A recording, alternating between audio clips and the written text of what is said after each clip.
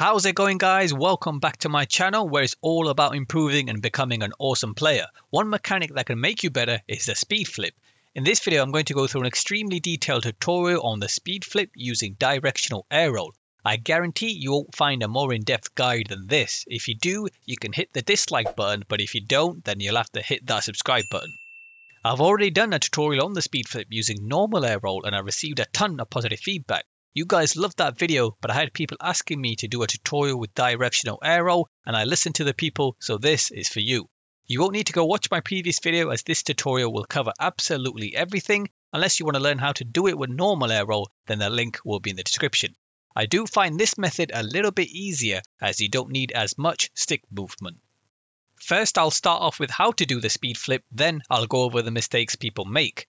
And if you're serious about learning the speed flip, it's really important that you pay attention to every detail I'm going to mention throughout this video. I've had people watch the last video, then show me their attempts and they were making the exact same mistakes I mentioned in the video. So make sure you watch carefully and watch to the end. First, you need to be able to flip cancel, which is simple. Do a front flip, then instantly push the analog stick straight down. This has to be instant. When you're doing the speed flip and you don't pull down fast enough, you'll do kind of a front flip and land pointing to the side. Also, you can only cancel front and backwards. So when cancelling flips, the only direction you should be pointing your stick is up or down. You can't cancel to the side. When you're diagonal flipping, you're not cancelling the diagonal flip, just the front flip portion, hence why you still rotate sideways. Now let's do a diagonal flip with directional air roll. I'm going to be using air roll right, which I have mapped to R1. Here are my camera and controller settings if you want to use them. I also have power slide and normal air roll mapped to L1, boost is mapped to square, scoreboard and reset shot are mapped to circle. Now this setup works for me, but it might not work for you. So be sure to test out different layouts until you find something that you like. To do the flip, first do a normal front flip then hold your directional air roll button before front flipping and you've got the perfect diagonal flip.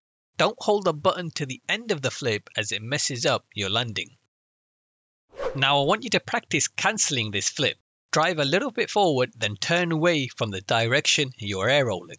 I'm using air roll right so I'm going to do a tiny left turn. And when I say tiny, I mean absolutely tiny. Look at my attempt here and how little I actually turn. After diagonal flipping, instantly push the analog stick straight down. Hold it down and let go just before you land. If you let go too early, you won't gain the momentum needed. Keep doing this over and over again until you get used to cancelling the flip. And also, don't forget to let go of your directional air roll button before you land. If your car is pointing to the side, then that means you're not flicking the stick down fast enough. You have to be super quick. The faster you pull down, the better your form will be. On the topic of quickness, you also need to be tapping the jump button as fast as you can. The speed flip is all about doing these controller movements as quick as possible. Once you're comfortable with this, then start adding boost. And now every time you land, hold the power slide button so you keep your momentum as you hit the ground. This might take you some time to learn as we just added two more buttons to the combination. But this is basically the speed flip done. And now we're going to perfect it in Musty's speed flip test. Make sure you familiarize yourself with the hand movement and pressing the buttons before moving on to the training pack. Now it's time to go over the mistakes people make. It's important you watch every single one before attempting the speed flip as even one mistake can mess you up. First, I just want to mention controller dead zone. I have mine quite low. Some people say lowering the dead zone doesn't affect anything, but in my personal experience, my flips felt a little bit better.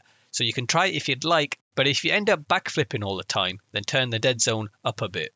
Next, you're not letting the car fully land on the ground when you're resetting the shot. As you try this again and again, you'll become understandably impatient. You'll start boosting straight away, but it's vital you let the car rest as that half a second in the air can slow you down. Next mistake is driving to the side. You want to drive forward on the line towards the ball. Don't turn straight away as that means your momentum is going to the side instead of straight ahead. So drive forward before turning to jump. Next is turning too much before jumping. Like I mentioned earlier, you only need to turn a little bit. In some of my attempts, you can barely tell that I'm turning and you want your turn to be similar. Next is jumping too late. You want your jump to be around halfway off the first grass line you see. Not at the grass line, but halfway to it, right where the subscriber marker is. When someone joins the Discord and shows me their attempt is one of the first mistakes I notice, so make sure you get your jumping correct. The next mistake, and probably the biggest of them all, is to do with the flip cancel itself. I see a lot of people that don't cancel fast enough. If you're doing everything else right and still not getting it, then you might not be flicking down as quick as you think. Also, you need to make sure you hold down long enough and let go just before you land so you can correct your car. Finally, the last mistake is not holding power slide when landing. Holding power slide is vital to keep your momentum in case your car lands a tiny bit off. Since I have normal air roll and power slide both mapped to L1, I can correct my car and hold power slide with one button, which makes landing easy for me. If you're doing the first part correct but your landing is messing up, you could either be letting go of your directional air roll button too early or letting go of it too late.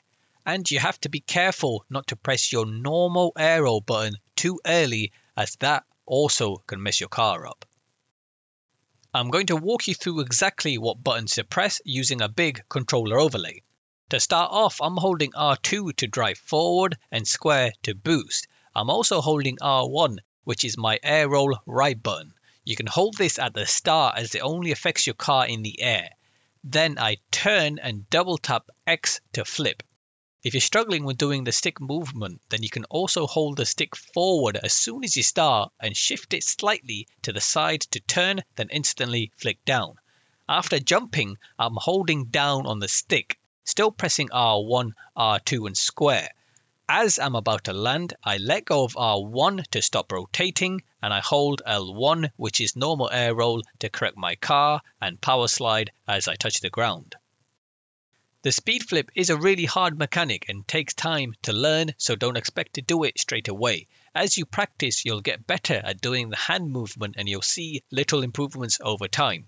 If you want feedback on your speed flip or any other mechanic, then you can join our Discord and post your attempts there. The link will be in the description. If you find this video helpful, then hit the like button as it takes a lot of time to put these videos together. Consider subscribing if you're looking to improve on Rocket League. I upload tutorials and tips videos weekly, so make sure you don't miss out. If you're still here, I appreciate all the support. Thank you so much for watching. I'll see you in the next video.